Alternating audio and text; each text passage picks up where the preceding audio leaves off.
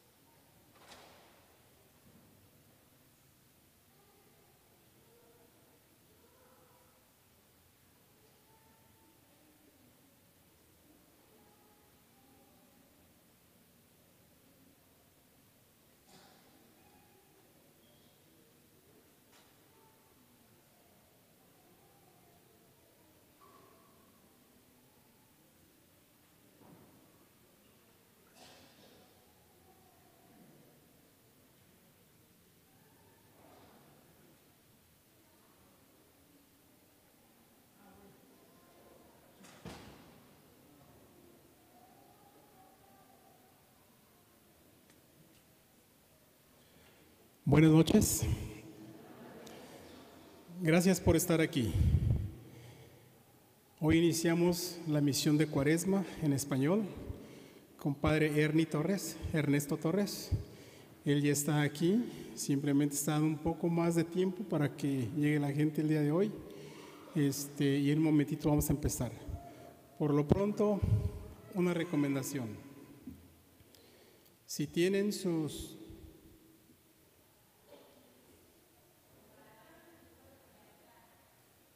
Ahí está acá. Es que lo, yo lo dejé allá. ¿Cómo llegó acá, padre? Qué bueno que me avisaron. Muy bien. Vengo corriendo de una junta, tal vez por eso no puse atención. Pero yo lo había dejado, juraba que lo había dejado en la sacristía, padre. Muy bien, entonces, este, les decía entonces, por lo pronto, creo que es una buena oportunidad para que pongan sus teléfonos en modo de silencio o en modo de vibración, para que las llamadas no, no nos caigan en cualquier momento. Claro que si es Dios quien está llamando, tomen la llamada, porque nosotros queremos escuchar qué dice. Estoy seguro que quiere decirnos algo, pero solamente si es Dios, ¿ok? Las demás pónganlas en modo de vibración para que no los interrumpan y obviamente no les interrumpan también a los vecinos.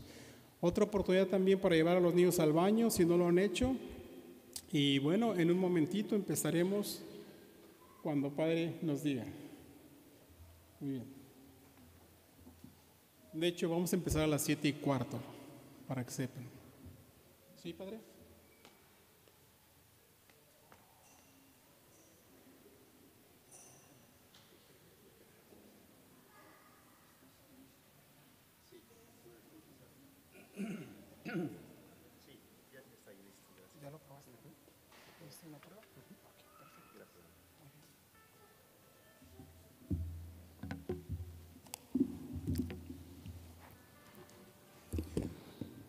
Buenas tardes y buenas noches, pues ah, bienvenidos a todos a nuestras misiones cuaresmales, pláticas cuaresmales. Me da gusto estar aquí con ustedes para compartir con ustedes lo que nuestra Madre Iglesia pide, quiere y enseña durante esta temporada penitencial de Cuaresma. Vamos a, voy a estar aquí con ustedes pues tres noches. Preparé tres charlas, una charla por cada noche, pero las charlas son muy sencillas. Solamente en espera de que nosotros los católicos encuentremos sentido, significado de nuestra vida, de nuestra fe y proponerles verdaderamente unas palabras que nuestra Madre Iglesia nos quiere dejar durante estos días cuaresmales. La primera charla y sobre el sentido de la vida, el sentido de la fe. ¿Por qué somos católicos? ¿Para qué somos católicos? ¿Qué sentido encuentro en mi fe católica? Primera charla. Segunda noche y mañana será la segunda charla. Hablamos ya de la realidad del pecado y nuestra necesidad del perdón y misericordia de Dios. Todos nosotros hemos de reconocer y aceptar nuestros pecados. Somos pecadores, nacimos pecadores, vivimos con pecados, moriremos con pecado. Solo la misericordia de Dios nos puede salvar, nos puede ah, limpiar, purificar, prepararnos para el cielo. Y eso es para mañana. La tercera charla será ya para preparar los, los misterios pascuales. Voy a hablar de nuestros misterios pascuales, porque son importantes celebrar la misa y la comunión con Cristo. Tercera plática en preparación para el reino del cielo. La Eucaristía es probadita del cielo. Por eso, estas tres charlas, yo creo que, serán más muy buenas y suficientes para ah, guiarnos y entrar en el espíritu penitencial de Cuaresma. ¿Ustedes entienden lo que acabo de decir? Por eso voy a tratar de hablar despacito, lentamente, porque mi español es español filipino. Espero que como yo podamos disfrutar de estos días, de estas noches, para empaparnos del amor y misericordia de Dios. Comencemos siempre con una oración. Pónganse de pie.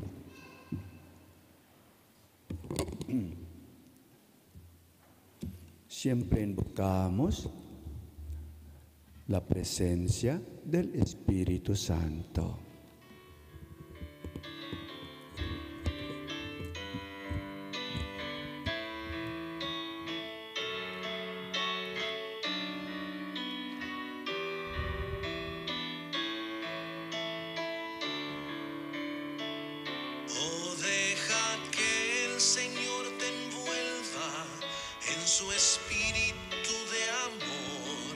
Pongámonos adelante la presencia de Dios. corazón.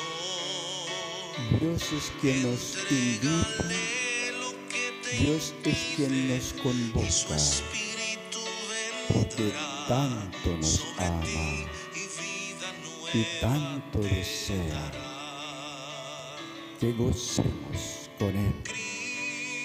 Cristo, La vida en este mundo hasta la vida eterna.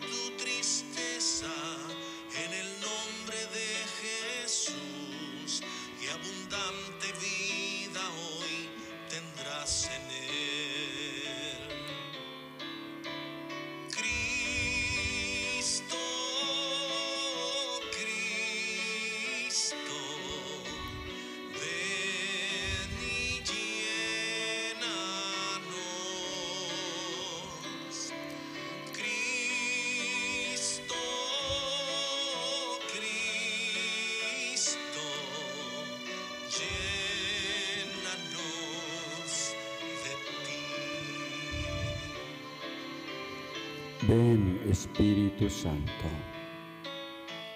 Ven y derrama sobre nosotros los dones de tu presencia. Abre nuestros corazones a recibir tu sabiduría, a recibir tu conocimiento y recibir la verdad. Háblanos, Espíritu Santo. Llévanos a Cristo, el Hijo de Dios. Únenos como un pueblo y comunidad, ansiosos y deseosos de ver la belleza de Dios. Ayúdanos, Señor Jesús. Tú eres el único Maestro Salvador del mundo. Tú eres el camino, la vida y la verdad. Nadie nos puede llevar al reino del Padre.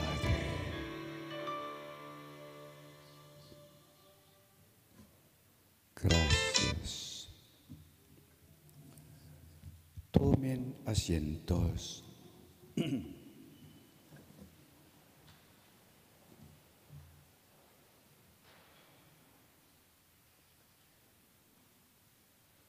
Para estas charlas solamente traigo dos importantes libros que para mí son esenciales para llevarnos al cielo. El primer libro es la Biblia, que contiene la palabra de Dios. La Biblia contiene muchos libros y esos libros llevan mensajes de amor y misericordia porque es el único mensaje que Dios tiene en su corazón. No hay otro propósito que Dios tiene para nosotros en esta vida, sino para vernos felices, para vernos contentos, para vernos disfrutando la belleza de la vida, no solamente en esta tierra, sino hasta la vida eterna. Si abrieras el corazón de Dios, solo encontrarás dos rayos, amor y misericordia. Esos son los rayos que fluyen del corazón de Jesús en la imagen de la divina misericordia. Los rayos rojos son rayos de amor, sangre que fluye para empaparnos de su amor. Los rayos pálidos son rayos de misericordia. Contiene el agua que purifica, limpia nuestros corazones de cualquier suciedad del pecado y cualquier ah, caída, cualquier, ah, um, cualquier ah, cosa que había ensuciado nuestras vidas por nuestras decisiones equivocadas. Dos rayos, amor y misericordia. Y los dos rayos de amor y misericordia siempre van juntos. Dios expresa su amor con su misericordia. Y la misericordia es la flor, el fruto del amor de Dios. Van juntos. Dios ama y demuestra nuestro amor por su misericordia. Él nos perdona, no porque lo merecemos, es porque Él nos ama. Qué, bueno es el Señor. Y esa es el, la misma misión de Jesús. Tanto amó Dios a ti y a mí. Y quiere Dios que todo el mundo experimente el amor y misericordia de Dios, porque para Dios solo su amor y misericordia nos lleva a la y cumple, realiza su propósito y su plan eterno desde el principio. Hermanos, pues, en el segundo libro es el catecismo de la iglesia. Para muchos de nosotros leyendo la, la- la Biblia en sus diferentes libros, 46 del Antiguo Testamento, 27 en el Nuevo Testamento, a veces nos confunden, a veces no, no nos son claros los libros, no son claras las palabras, los textos, los contextos. Por eso la Madre Iglesia nos ofrece el catecismo.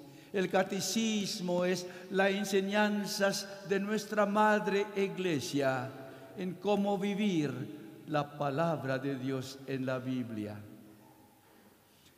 El catecismo está basado en la Biblia, en la palabra de Dios. Nuestra Madre Iglesia es la mejor maestra, mejor educadora de sus hijos que somos nosotros. Hermanos, pues voy a usar el catecismo para poder ah, dar las charlas, muy importante para nosotros. ¿Por qué misión cuaresmal? Y yo doy gracias a Dios y también yo doy gracias a su párroco por haberme invitado a dar estas charlas para porque tanto también los quiere su párroco para que los pueda ayudar como entrar en el espíritu de Cuaresma dentro de la iglesia. Hace dos miércoles, con el miércoles de ceniza, oficialmente, litúrgicamente, entramos en la temporada cuaresmal que tiene por su espíritu, espíritu penitencial. ¿Saben qué es el propósito de la cuaresma? ¿Por qué la iglesia nos ofrece estos 40 días, 40 noches para prepararnos a la Semana Santa? Hay algo muy significativo en esta tradición de la iglesia desde el comienzo de nuestra historia, desde la pasión, muerte y resurrección del Señor Jesucristo, desde el primer domingo de Ramos, desde el primer jueves santo, después del primer viernes santo, después del primer sábado de gloria, después del primer domingo de Pascua. Desde allí la iglesia siempre ha celebrado esta cuaresma y esta, estos misterios pascuales como el centro, la base, la fundación de nuestra fe católica. Estas celebraciones son esenciales, son fundamentales para nosotros podermente mantenernos ligados, vinculados, conectados al espíritu de nuestra Madre Iglesia. Los 40 días, números en el- la cultura judía y hebrea, los números son simbólicos, significan algo. Tres, porque tres, el, el Padre, el Hijo, el Espíritu Santo siempre es eso, tres personas del único Dios. Cuando se habla de siete, siete es número de perfección. Dos es número de las doce tribus, doce apóstoles, son columnas de la- de la- del, del antiguo Israel y columnas del nuevo Israel, que es la iglesia. El número 40 es muy importante. Tiene algo de limpieza, purificación, de un proceso de renovación. 40 noches, 40 días. Dejó caer lluvia en el tiempo de Noé para renovar la tierra. 40 días, 40 noches se quedó Moisés en Sinaí para recibir la, la ley de Dios. 40 días, 40 noches caminó Elías por el desierto ah, de Beersheba antes de subir el monte Oreb para encontrar al Señor. 40 años se quedaron los, los israelitas por el desierto después de salir de Egipto para llegar a la tierra prometida. Un cambio, una renovación, una reforma y un nuevo cambio, identidad del nuevo, del, del- de- del antiguo Israel. 40 días, 40 noches se quedó el Señor antes de comenzar su ministerio público y fue tentado por Satán. El número 40 es muy significativo y los- el número 40 significa renovación de la vida, cambios radicales de la vida adaptar nuevas maneras de vivir, adaptar nuevo estilo de vida, adaptar una vida mejor, una decisión más profunda en nuestra vida. 40 días, 40 noches. El- la temporada de cuaresma, 40 días precisamente, 40 noches, es que la iglesia quiere invitarnos, animarnos a sus hijos, a prepararnos para celebrar la Pascua.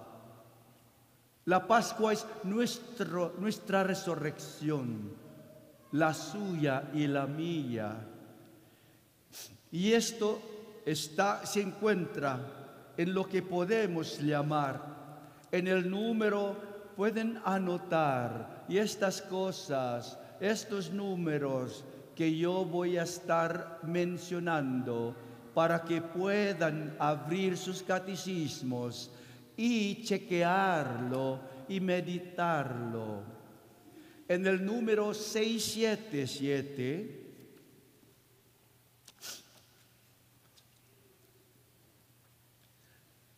Bueno, comenzamos 675, la última prueba de la iglesia, dice, la última prueba de la iglesia. 676 es la presencia del maligno en el mundo anticristo.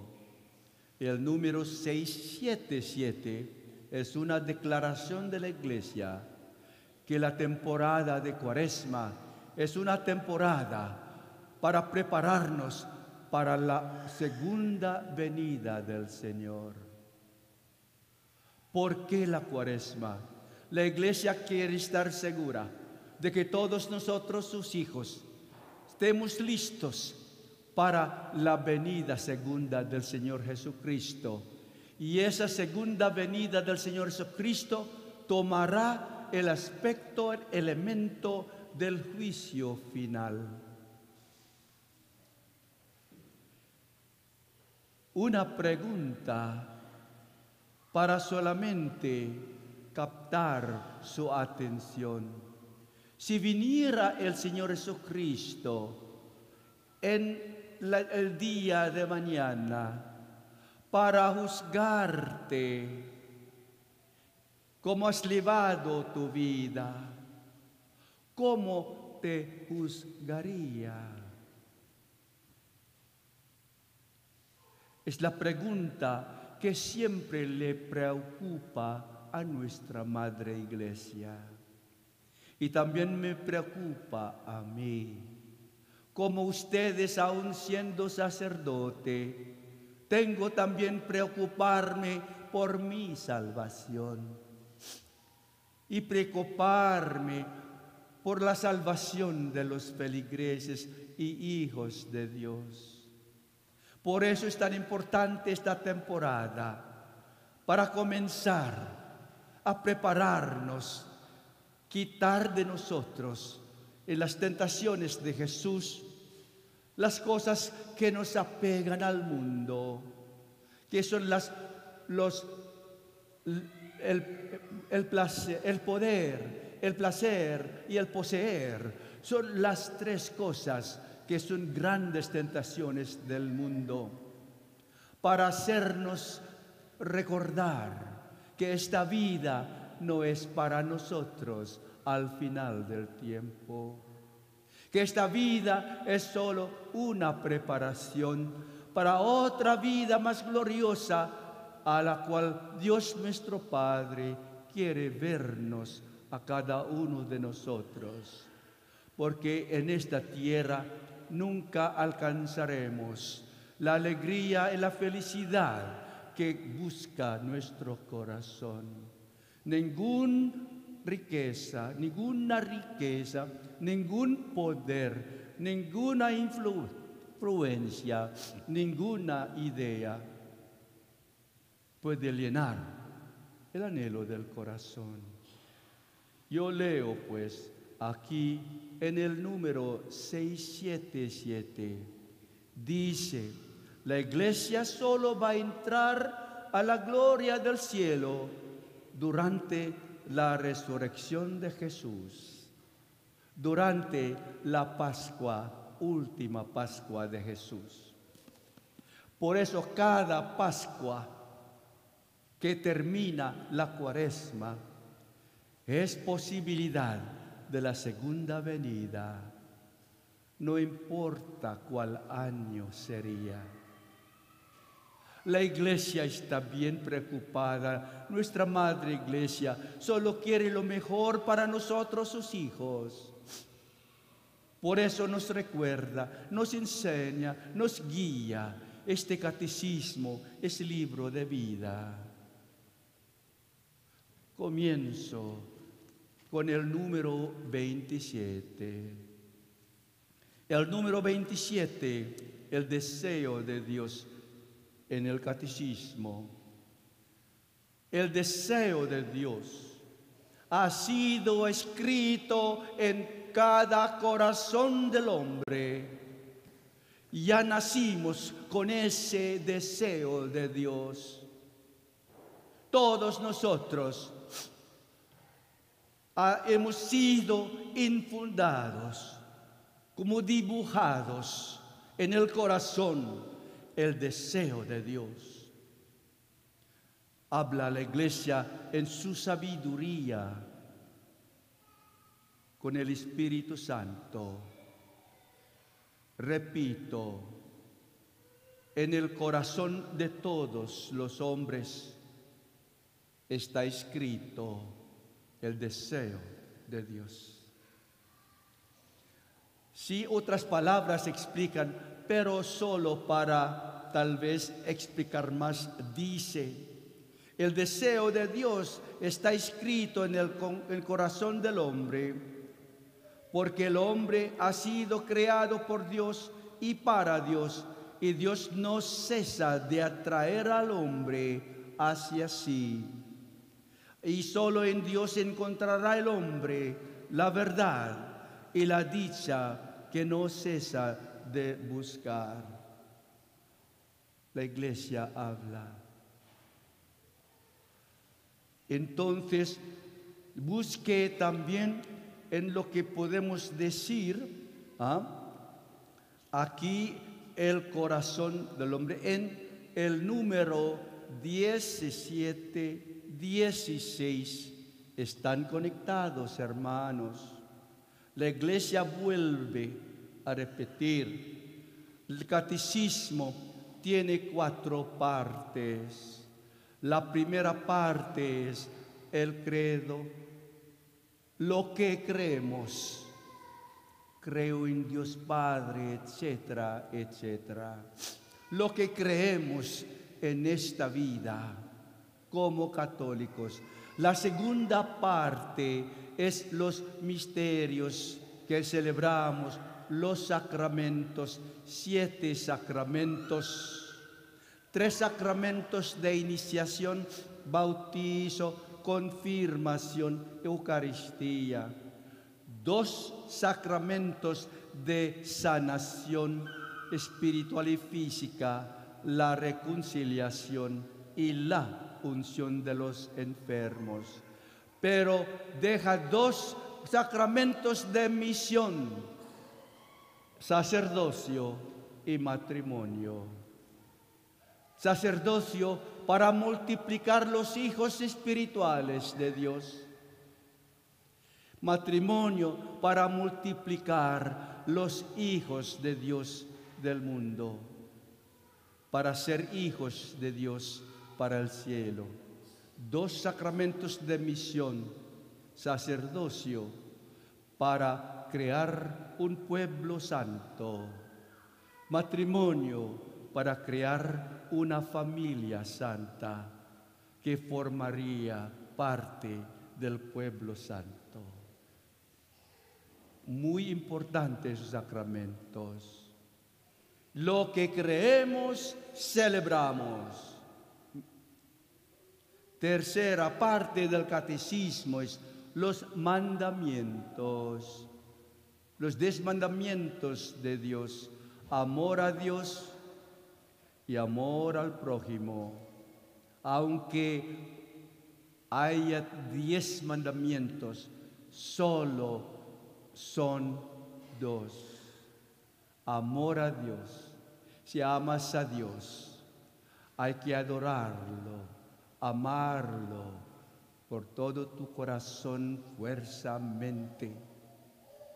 Y hay que santificar su día, hay que honrar su nombre. Si amas a tu prójimo, no le robes, no le insultes, no codicies su pareja y no levantes testimonio malos, no envidies, etcétera, etcétera dos, dos mandamientos solamente, amor a Dios y amor al prójimo. Y en esta parte del catecismo, la iglesia nos enseña cómo identificar lo que es el pecado. El pecado es rebeldía de Dios, desobediencia a los mandamientos de Dios. Todos pecados son falta de amor. y cómo se borran los pecados. Dos, dos cosas, dos sacramentos borran los pecados. El bautismo borra todo pecado desde antiguo hasta el bautizo. Pero, ¿qué pasa con los pecados que cometemos después del bautizo? La reconciliación. Por eso la reconciliación es segundo bautizo. Y la cuarta parte del, del catecismo es la oración. Están todos conectados estas partes del catecismo, lo que creemos. Y lo que creemos, cómo celebramos lo que creemos. Y cómo celebramos cómo vivimos lo que creemos y cómo intercedemos, rezamos lo que creemos, lo que celebramos y cómo vivimos. Están todas conectadas las cuatro partes del catecismo. Y ahora la iglesia nos enseña, conectado al primer punto número número 27 que yo apunté allí ya. Ahora, las bienaventuranzas. Hablamos ya de los mandamientos en la tercera parte del catecismo. Las bienaventuranzas están en el centro de la predicación de Jesús. Con ellas Jesús recoge las promesas hechas al pueblo elegido desde Abraham y todo eso.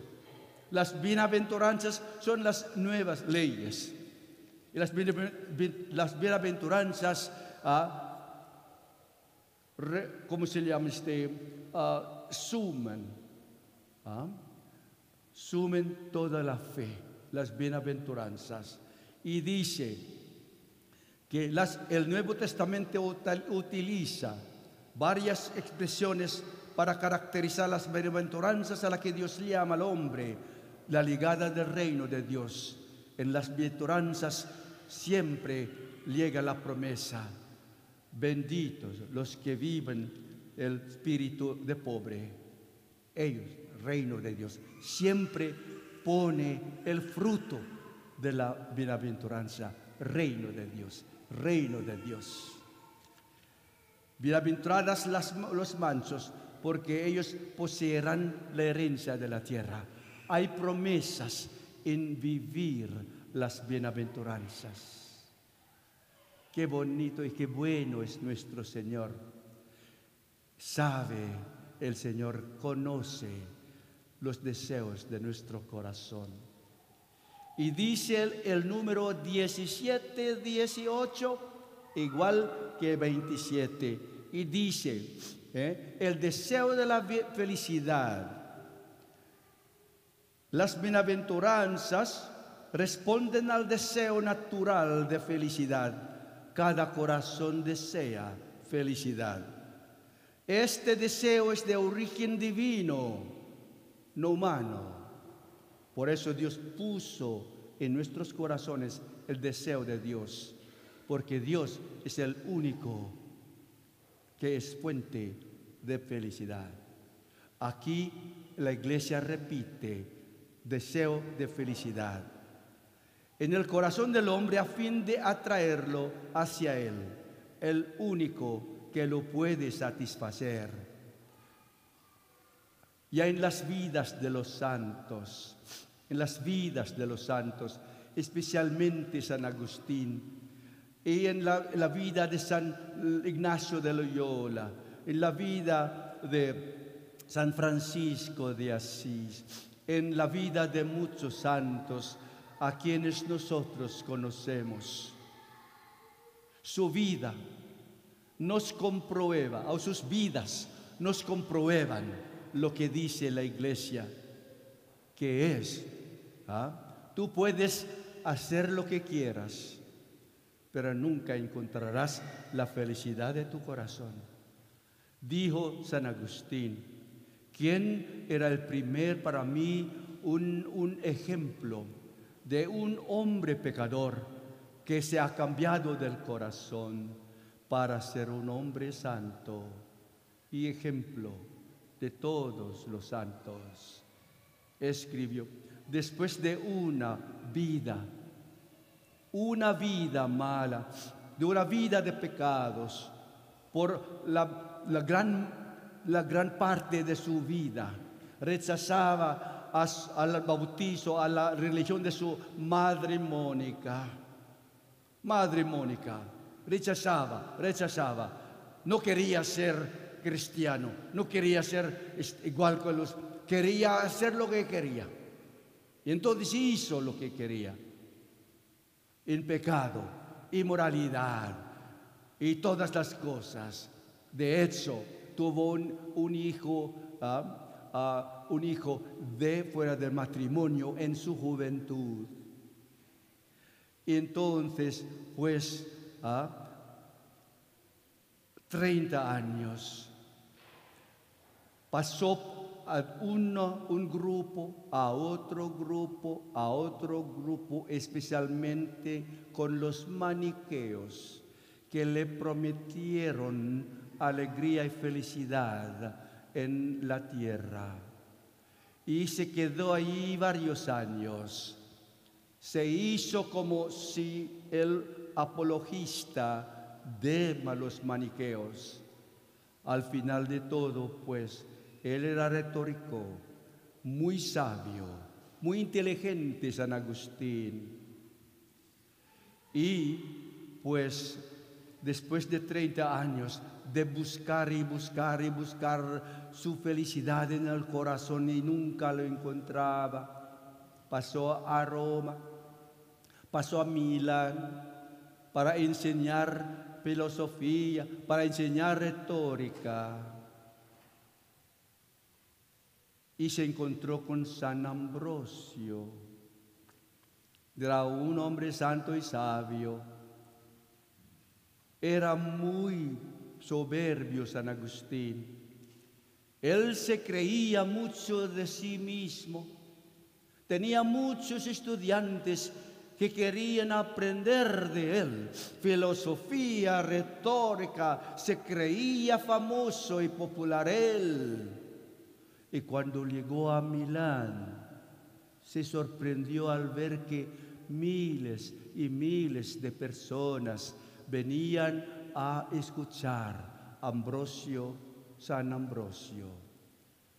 Y su ego fue verdaderamente herido. Decía, ¿quién puede atraer tanta gente más que yo? Y un día desconocido entró en la iglesia para escuchar a San Ambrosio. Y yo no sé qué pasó. El Espíritu Santo de Dios trabajó y por la primera vez en su vida sintió, sintió algo raro en su corazón que le perturbaba por todo el mes y no podía, no podía, ¿ah? estaba tranquilo y fue, como se llama? Yo no sé qué pasó, pero no podía, como, no podía resistir. Iba y iba, iba a escuchar a San Ambrosio. Iba a escuchar a San Ambrosio hasta que después de mucho tiempo fue convencido. Y decidió estar bautizado. Después de muchos años rechazando el bautizo que su madre Mónica estaba ofreciéndole. Milagro de Dios. Y más milagro de Dios, hermanos, es que Santa Mónica, la única oración de Santa Mónica en toda su vida es que Dios no me quites de este mundo hasta ver a mi hijo en tu lado. Todos los días, varias veces, todo el tiempo, la oración de Santa Mónica y no paraba de rezar la misma oración. Dios, no me quites de este mundo hasta ver a mi hijo en tu lado. San Agustín no supo de eso, pero sí al final, al oír la decisión de su hijo a estar bautizado, mandó traer a su madre Mónica de, Agap, de, de Zagaste, África, norte de África. Y Santa Mónica en su vejez se fue a Roma y Milano para atestiguar el bautizo de su hijo con muchísima alegría. Estaba bien, bien contenta la madre Mónica. Y después del bautizo de su hijo, Santa Mónica quería regresar en Tagaste, África, donde el resto de su familia y estar con la tumba de su, ah, de su esposo. Y entonces, esa es su oración muy milagrosa, porque durante el viaje Santa Mónica falleció. Tal vez esa era parte de su oración. No me, no permitas que vaya, me vaya de esta tierra hasta ver mi hijo en tu lado. Su oración fue cumplida. Ella no miraba ya propósito para ella continuar viviendo. Murió contenta Santa Mónica. Y San Agustín la siguió y la enterró en Tagaste, África. Pero desde su bautizo, San Agustín cambió radicalmente en su vida, dejó completamente todo pecado. Y esta vida de San Agustín la confesó en su libro Confesiones de San Agustín. Léelo, ahí están todas las cosas que estoy contándoles en su libro Las Confesiones de San Agustín. Se confesó a todo el mundo sus pecados, sus grandes pecados. Y en este libro escribió dos frases que a mí siempre me han inspirado. Escribió, tú Señor, hiciste mi corazón para amarte solo a ti. Y nunca descansó hasta encontrarte. Tu corazón ha sido creado por Dios para Él, no para otras cosas. Y hasta que encuentres a ti al lado de Dios, nunca encontrarás felicidad en esta vida. Te prometo.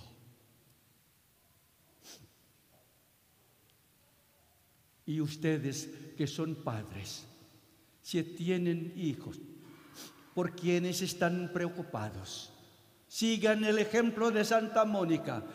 No paren de rezar, de rezar, de rezar por su hijo. Recen como Santa Mónica dice, rezó. Señor, no me quites de esta vida hasta ver a mi hijo, a mi hija en tu lado. Y verán cómo Dios responde.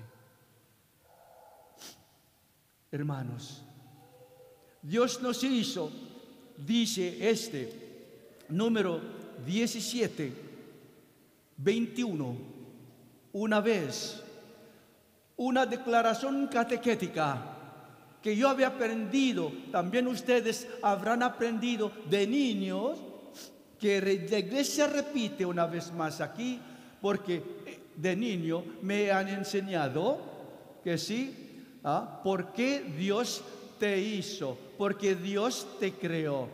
Siempre nos enseñaron los catequistas cómo responder. Dios me creó, Dios me hizo para conocerlo para amarlo y para servirlo, para ir al cielo. No hubo otra declaración catequética. Y aprendí de niño que me hasta, hasta ahora me ha guiado en mi sacerdocio. Y la iglesia lo repite en este número 1721. otra vez revísenlo. Dice la iglesia, Dios nos ha puesto en este mundo para conocerle, para servirle y amarle, así ir al cielo. El único propósito de Dios para crearnos, para hacerte, para permitir que vivas. Dios está enamorado de ti. Dios está bien enorgullecido de ti. Siempre Dios dice, cuánto me alegro porque vives.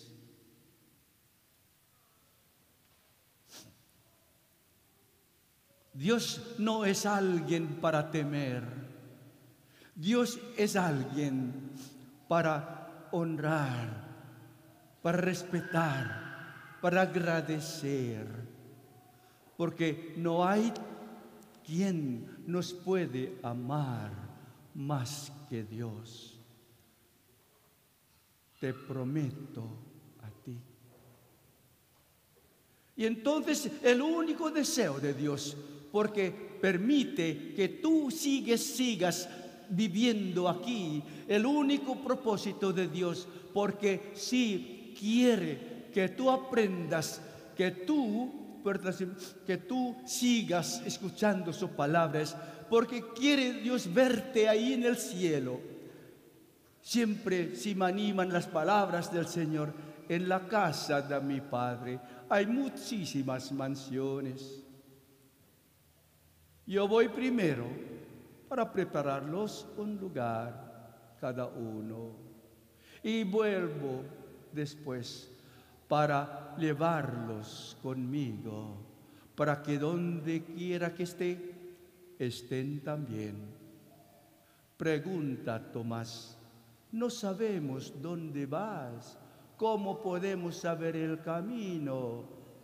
Y dijo Jesús, yo soy el camino, yo soy la vida, yo soy la verdad. Nadie pasará al Padre sino por mí. No hay salvación sin Jesús, no hay salvación y esperanza sin Jesús. Tanto Dios nos ama que mandó a su Hijo para que tú no te pierdas, pero que tengas la vida eterna. Dios no mandó a su Hijo para condenarte, para castigarte, sino que tú te salves. Juan 3, 16. Juan 3, 17.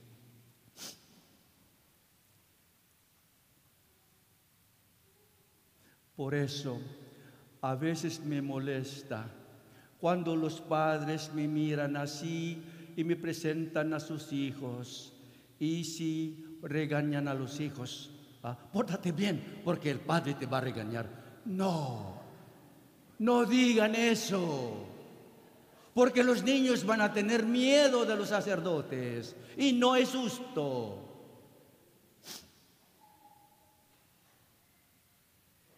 Les pido, por favor, que no pongan esa imagen muy fea de los sacerdotes. No digan a sus hijos, pórtate bien, porque el Padre te va a regañar. Y no es bueno. ¿Habían dicho eso una vez o dos veces? Sí, ¿verdad? Mira, no den, no den una imagen mala del sacerdote a tu hijo, por favor. Igual, Dios tiene el rostro muy bello, muy hermoso. Dios no es alguien para temer, porque Él no castiga, Él no condena, nunca, nunca, nunca. Dios es amor es todo lo que hace, amarte, perdonarte, amarte. Y tú se repite en tu vida, en mi vida, en la vida de, de su pueblo. Sigue armando, sigue perdonando hasta el punto de la cruz. El perdón de Dios te llega. No hay quien te puede amar más que a Dios. No hay amor más grande que uno muera por su amigo. Y San Pablo cambió un poquito esa palabra. Claro, el Señor Jesucristo dijo, no hay más grande amor para quien muera por su amigo. San Pablo, no, más grande amor hay cuando uno muera por su enemigo. Es fácil morir a veces por un, por amigo, pero es mucho más difícil morir por un enemigo. ¿Por qué dijo San Pablo eso? Porque mientras estamos en pecado, somos enemigos de Dios. Sin embargo, Dios nos sigue amando. Dios te está siguiendo en donde quiera que vayas. Manda a su espíritu, manda a sus angelitos para acompañarte en donde quiera que vayas en, la, en el lugar, en la tienda, en los trabajos, en los viajes, en las fiestas. Dios está ahí contigo. cuidándote, defendiéndote. Se, puse, se pone triste cuando tú decides alejarte de Él, pero nunca te abandona. Dios es amor y Dios es misericordia. Hermanos, el mensaje de la noche es que esta temporada penitencial de misericordia y es algo que nosotros quedemos empapados por ese amor y misericordia divina, para que estemos verdaderamente, sí, profundizando, conociendo cuánto amor tiene Dios para ti, para mí, para todo el mundo. Mañana la plática va, a, a ser algo diferente. Hablamos del pecado y misericordia. Misericordia es la única respuesta de Dios al pecado. Mañana presento lo que es de la encíclica de Juan Pablo II, Vives en misericordia, el pecado y la gracia, la gracia y la misericordia. Quiere decir, Dios tanto te ama y nunca se va a parar de salvarte hasta el último momento de tu vida. Porque en el bautismo, hermanos, en el, bautismo, Dios nos adoptó como sus hijos. No porque lo merecemos, es porque Dios ama a todos. Quien se bautiza en nombre de su Hijo amado es hijo de Dios. Entonces, durante el bautismo, pueden imaginarse a través del ministro de la iglesia, te vierte el agua sobre tu frente, sobre tu cabeza y te, te mete en el agua bautismal, pero para que sí estés purificado, estés purificada por completo. En ese momento o antes del bautismo, pues sí, ahí Dios te bueno, la iglesia te invita, crees en Dios, crees en la iglesia, crees en el Espíritu Santo, crees en Jesucristo, etcétera, etcétera. Pero antes de eso, pues tú rechazas a Satán, el mal, rechazas a todo eso. Ahí está el encuentro del mal y de Dios en el bautismo. En ese momento, Dios quiere decirte, quiero que seas mi hijo quiero ser tu Padre en el cielo. Desde ahora, tú eres mío, tú eres mía, y siempre te reclamo para que nadie te aleje de ti, de mí. Eso es lo que pasa en el bautismo. Porque al principio de la creación, Hablar de la, de la, de la ¿cómo se llama? Este? De la, de la libertad mañana. Hablo de eso. Dos importantes narrativos de la creación. Primer capítulo de Génesis es primer narrativo. Segundo capítulo de Génesis, segundo narrativo. Hablo del primer narrativo. El primer narrativo de la creación es que si Dios es es quien crea todas las cosas.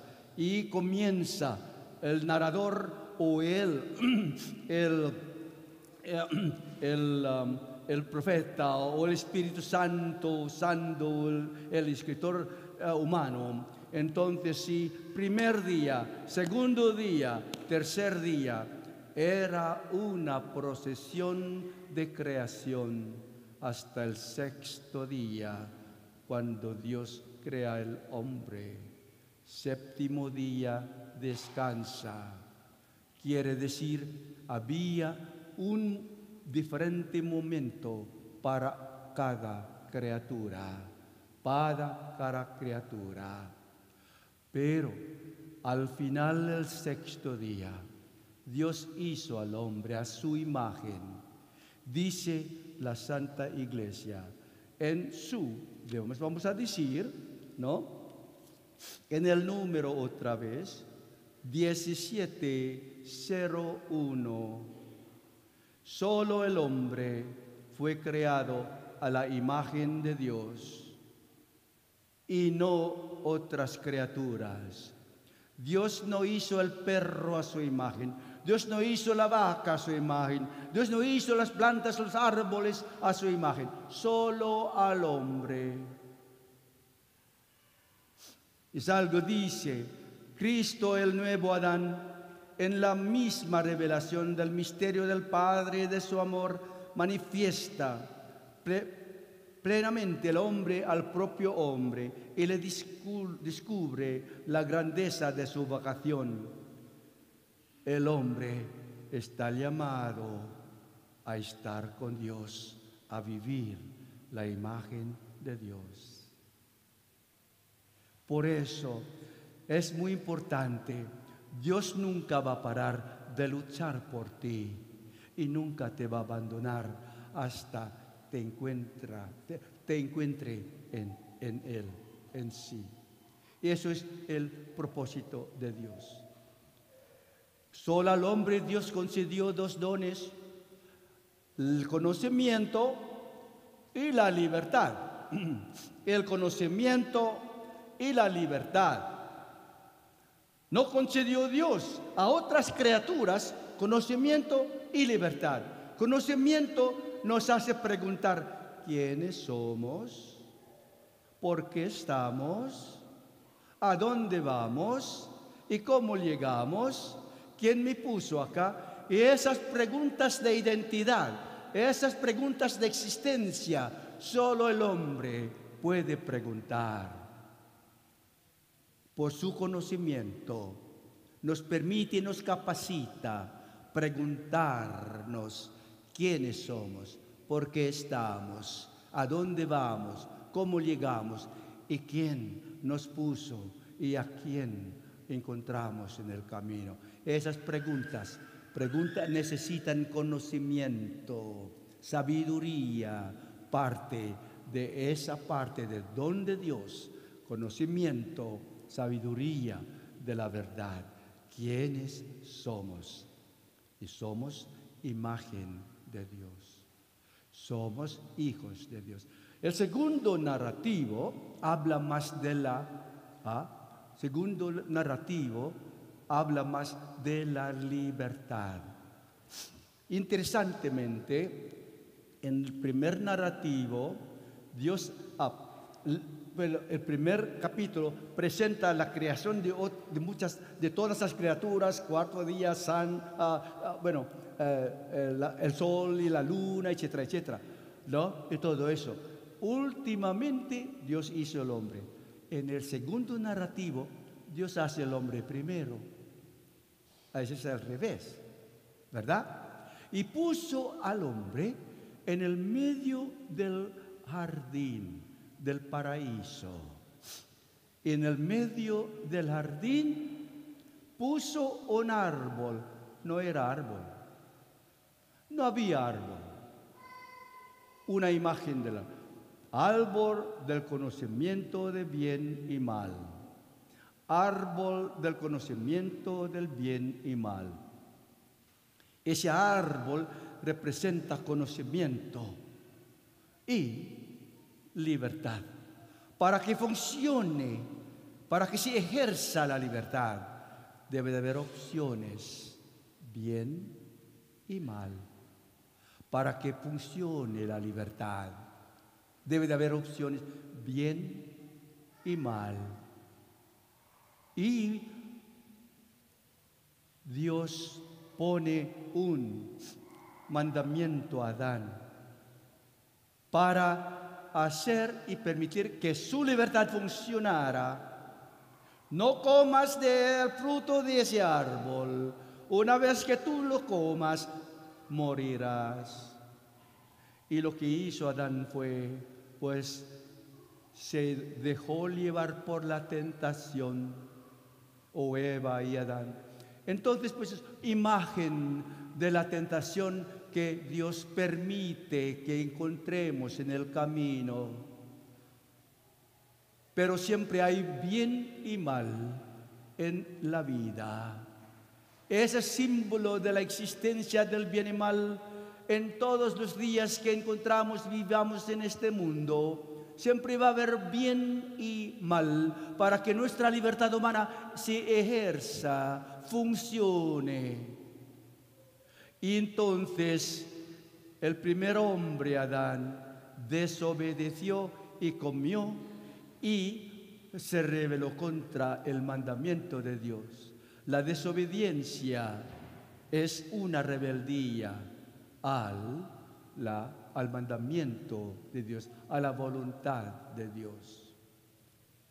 Quiere decir, hermanos, la vida está para nosotros, pero si nuestra existencia y nuestra vida está destinada para el cielo. Pero para que funcione nuestra decisión es necesaria para hacer. El cielo para los que viven los mandamientos de Dios y el infierno para los que desobedecen a Dios. Dos destinos diferentes en nuestras decisiones diarias.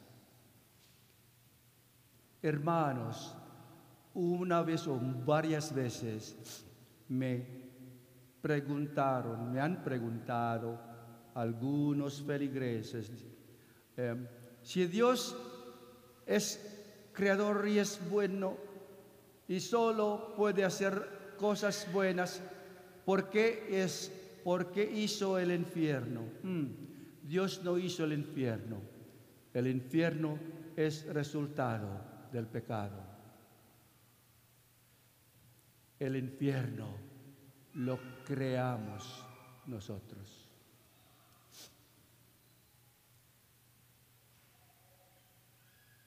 Por eso, en el primer capítulo de Génesis, primer capítulo de Génesis, capítulo 1, 15, ahora, bueno, capítulo, allá habla Dios del plan de Dios, el plan eterno de Dios.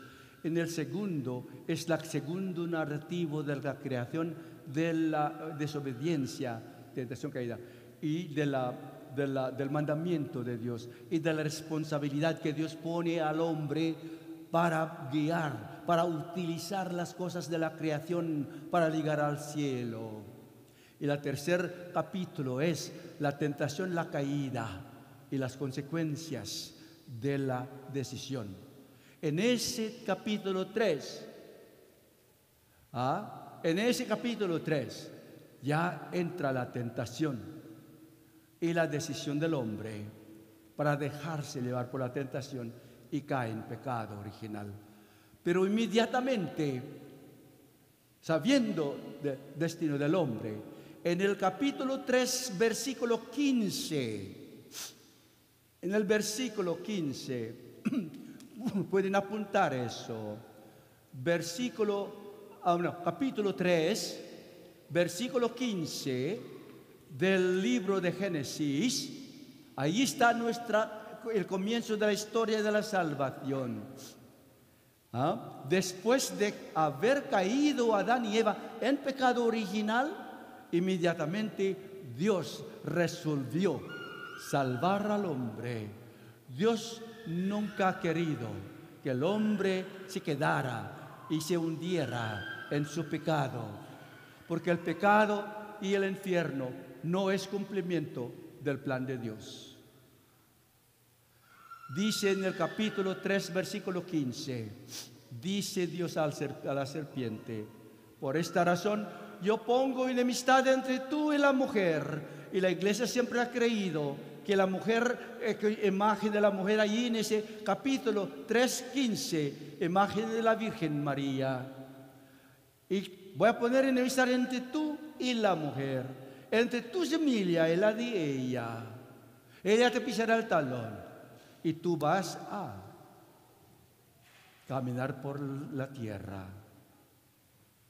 Quiere decir, enseguida, después de la caída en pecado original, Dios decide, no, voy a salvar al hombre de su propio pecado. Pone a la Virgen María la imagen de la nueva creación, porque con el pecado original la antigua creación ha sido destruida. Dios quiere crear una nueva creación y la Virgen María es la imagen de esa nueva creación. Y su semilla, el Señor Jesucristo, ha sido prometida desde el principio del Génesis ya comienza con esa promesa la historia de nuestra salvación. Eso es el deseo de Dios. Dios no quiere verte hundido en el pecado. Dios no quiere verte vencido por el mal. Dios quiere salvarte enseguida y utiliza la imagen de nuestra Madre Virgen, porque ella es la nueva creación. Ella es la imagen del reino del cielo. ¿Me entienden, hermanos? ¿Seguros? Esta es la primera charla solamente estableciendo, estableciendo el propósito de la vida, estableciendo el deseo de Dios, estableciendo entre nosotros el plan de Dios el reino del cielo, el reino, el reino del cielo y el castigo del infierno no es decisión de Dios. Nadie está en el cielo por casualidad. Nadie cae al infierno por casualidad. Todos van al cielo por su decisión. Por eso la libertad humana. Todos van al infierno por su decisión. Y termino con esta experiencia. Cada vez que yo me, toque, por ejemplo, o me tocaba, pues ahora ya no mucho porque estoy retirado, enterrar en una misa funeral de un hermano, de una hermana, no podía evitar de pensar, ay Dios mío, este hermano, esta hermana, estaba preparado a la muerte. Dios no sé, pero tú eres amor y misericordia. Arregla su vida, cuídala según tu voluntad. Y después me llevan al cementerio. Muchas tumbas más ¿verdad? Hay muchos nombres en las lápidas, etcétera, etcétera, que miro. Otra vez me vuele la mente. Ay, Dios mío, con tantos muertos, quienes murieron preparados para el cielo. Dios, ten misericordia de ellos.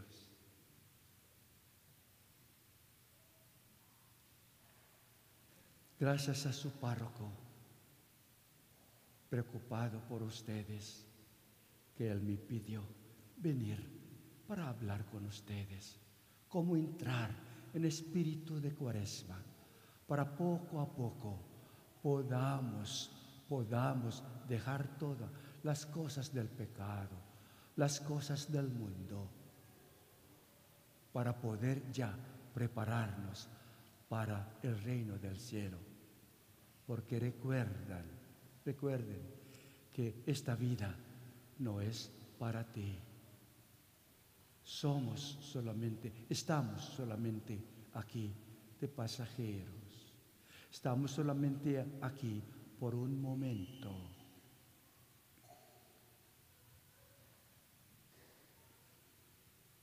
Nuestro hogar está ahí con Dios. Por eso la Madre Iglesia nos invita Entrémonos en esta temporada penitencial para reconozcan nuestros pecados, esas cosas que nos alejan de Dios, estas cosas que nos separan de Dios, estas cosas que verdaderamente um, nos, um, um, nos verdaderamente nos, nos condenaría Dios en su juicio, en el juicio final. Queremos estar en ese lado de Dios, al lado derecho, con los corderitos vestidos de blancos, con palmas en la mano, palmas de la victoria. Yo no quiero estar al lado izquierdo, que Dios va a decir, aléjense de mí, malvados, vayan a su destino preparado para los demonios y para los que se han separado de Dios. No queremos ir para allá, queremos ir para allá. Nuestro destino está en el cielo. Cada uno de nosotros, quiero pensar que cada uno de nosotros tenemos nuestro, nuestra mansión en el cielo con nuestros nombres escritos. Esto es para este, para este, para este tal fulano. Queremos pensar de eso. No podemos imaginar. El domingo pasado, ayer, ¿verdad? Bueno, ya, si hace mucho, ah, mucho tiempo. Mira, la transfiguración del Señor Jesús es imagen del cielo, es imagen de la gloria del cielo. Cristo permitió que estos apóstoles Pedro, Santiago, Juan experimentaran un momento, probadita del cielo en su gloria. Les permitió ver su, su resurrección gloriosa antes de que muriera en Calvario. Era un regalo especial para estos apóstoles. Vieron al cielo y no se quisieron ir ya de, del monte. El Señor dijo, ni antes de subir al monte, antes de disfrutar lo que han visto, acaban de ver, yo voy a llevarlos a otro monte, Calvario. En esta temporada estamos viviendo un poquito de Calvario, con ayuno, con penitencia, con arrepentimiento, con abstinencia, con caridad, con limosnas, con oración, con amor, cultivarnos, prepararnos para encontrar a estos resucitados en el monte de la transfiguración. Dios los bendiga.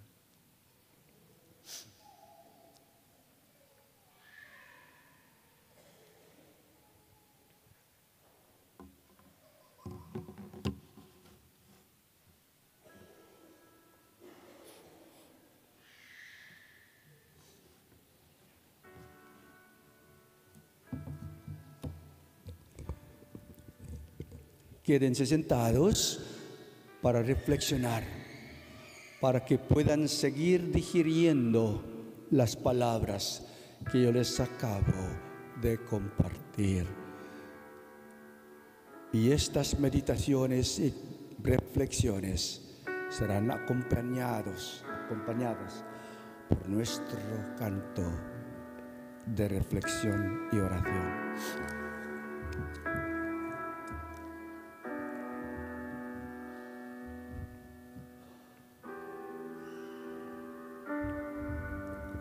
Oh Dios Todopoderoso, gracias por tanto amor que tú tienes para cada uno de nosotros, que tú mandaste a tu Hijo único y tú permitiste que Él pasara los sufrimientos y dolores de la vida humana para unirse con nosotros en nuestro estado en todo, menos en el pecado. Gracias, oh Dios Padre, porque en nuestro bautismo tú nos adoptaste como tus hijos en el espíritu de tu Hijo amado Jesús. Y tú nos instruiste. Escuchemos a Cristo. Cuando dijiste en el monte de Tabor y transfiguración, este es mi Hijo amado en quien me complazco. Escúchenlo. Escúchenlo. Síganlo.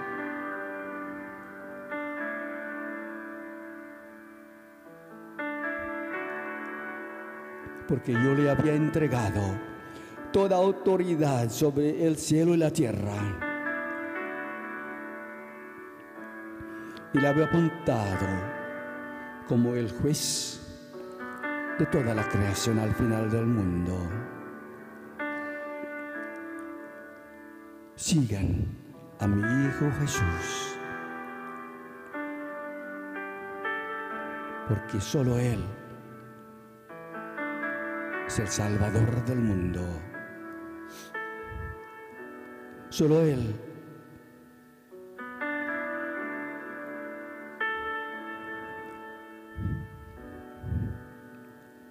puede hacer que yo derrame el don del Espíritu Santo, el don de reconciliación, don de perdón y don de paz y alegría.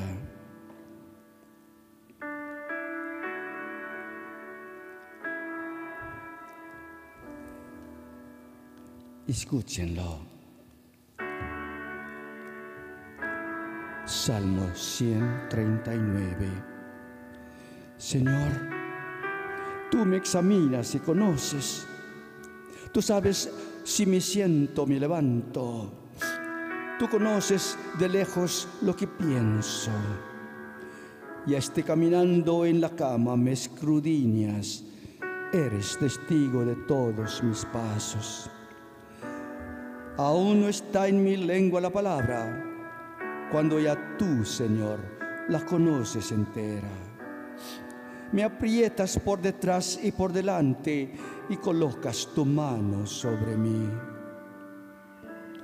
Me supera ese prodigio de saber. Son alturas que no puedo alcanzar. ¿A dónde iré lejos de tu espíritu? ¿A dónde huiré lejos de tu rostro? Si escalo los cielos, tú ahí estás. Si me acuesto entre los muertos, ahí también estás.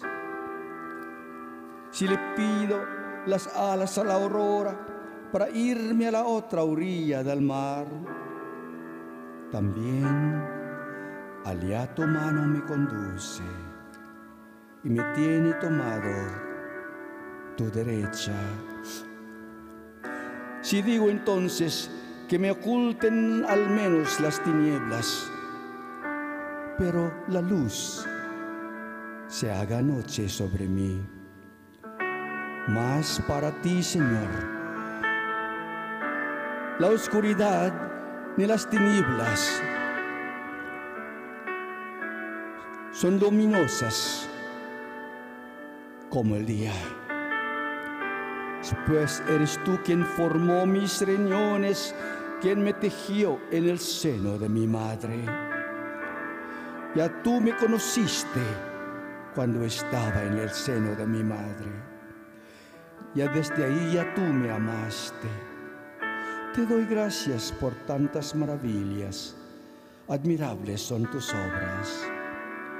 Y mi alma bien lo sabe mis huesos no te estaban ocultos cuando yo era formado en el secreto y bordado en lo profundo de la tierra. Tus ojos veían todos mis días, todos estaban escritos en tu libro y contados antes que existiera uno de ellos. Tus pensamientos, Dios, cuánto me superan, qué impresionante es su conjunto. Por menos rezarlos, son más que las arenas, nunca terminaré de estar contigo. Examíname, oh Dios, mira mi corazón, ponme a prueba y conoce mi inquietud. Fíjate, si es que voy por el mal camino y condúceme por la senda antigua.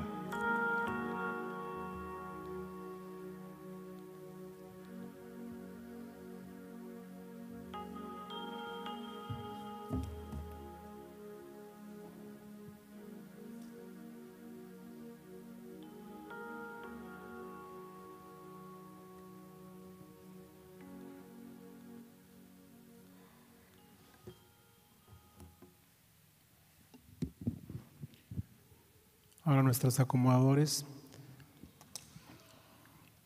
pasarán a hacer una colecta. Gracias.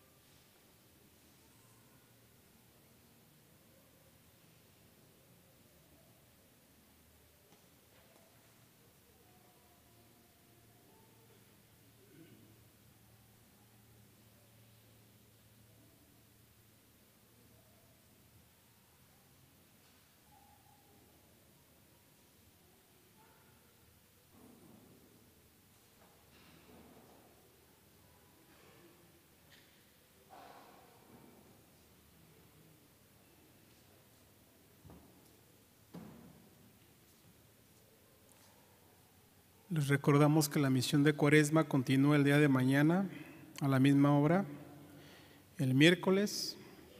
Y para los padres que trajeron a sus niños, síganos trayendo. Esto cuenta para su formación de catecismo. Y posiblemente mañana les tengamos las listas para que los registren. Hoy se nos pasó, pero mañana se las tenemos y el miércoles. Y también recuerden que el jueves tendremos confesiones.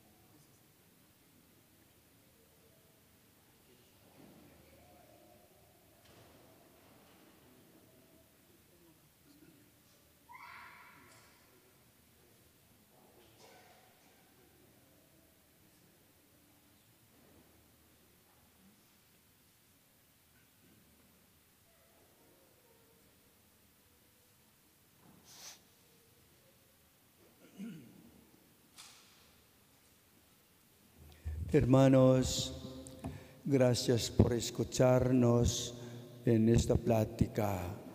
Mañana a la misma hora vamos a seguir con la charla segunda, que es el pecado y la misericordia de Dios. Vamos a hablar del pecado, la, realidad del pecado y el salmo que acabo de rezar al final de esta plática es el salmo hermosísimo sobre el amor de Dios. 139. Salmo 139. Léanlo todos los días, porque es un salmo que habla de la verdad de quién es Dios para nosotros. Salmo 139. Mañana en la charla voy a dar otro salmo hermoso, pero hablamos del pecado. Yo voy a tratar de hacer la explicación un poquito sencilla para aclarar un poquito de la realidad del pecado, la necesidad de la confesión. ¿Y por qué? ¿Qué es lo que confesamos? Hablamos un poquito de la moralidad católica y después para poder cultivar la confianza en la misericordia de Dios. Voy a presentarlos que la confesión es imagen del Hijo pródigo. Ahí la confesión, el Dios Padre se encuentra con su Hijo pródigo. Y allí nosotros somos hijos pródigos de Dios, queriendo regresar a la casa del Padre. Nos ponemos de pie.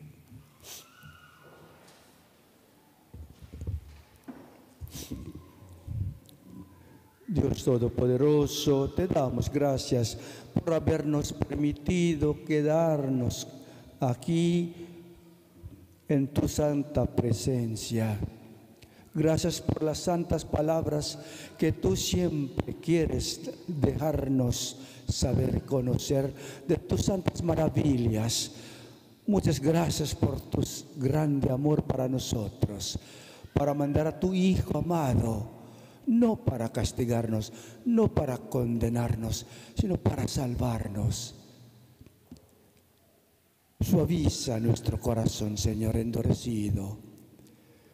Ayúdanos a reconocer nuestras faltas y encontrar nuestro camino, porque al fin del camino solo queremos encontrarte. Pedimos, oh Dios, a que siempre bendigas nuestra vida de fe Aumentanos la fe, amor y caridad y esperanza. Ayúdanos también a vivir nuestra fe fielmente, perseverantemente, cada día de nuestras vidas. Protégenos de todos los males. Guía nuestros pasos. Derrama sobre nosotros el conocimiento, la inspiración del Espíritu Santo, para que siempre hagamos buenas decisiones. Oh Señor, queremos solamente hacer tu santa voluntad. Aléjanos del mal, protégenos, guíanos. Pedimos esto por Cristo nuestro Señor. El Señor esté con ustedes la bendición de Dios Todopoderoso, Padre, Hijo y Espíritu Santo, descienda sobre todos ustedes. Hemos terminado nuestra misión. Vayan en paz. Compartan el amor y misericordia de Dios a sus queridos.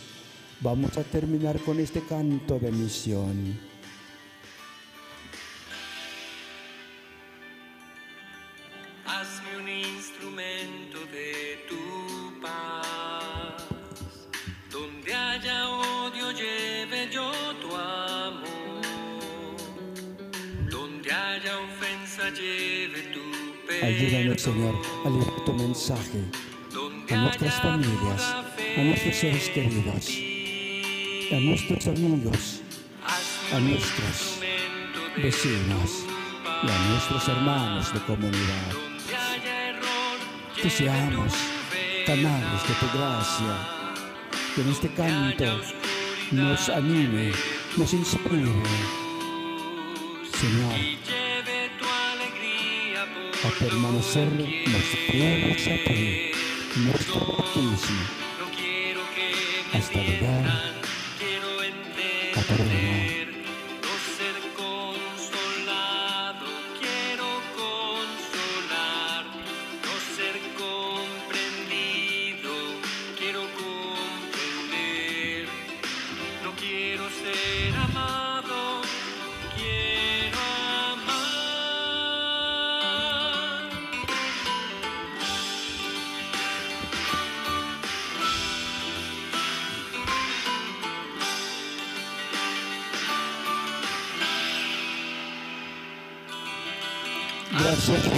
todos ustedes, porque la aquí. Buenas noches a todos y que Dios los bendiga.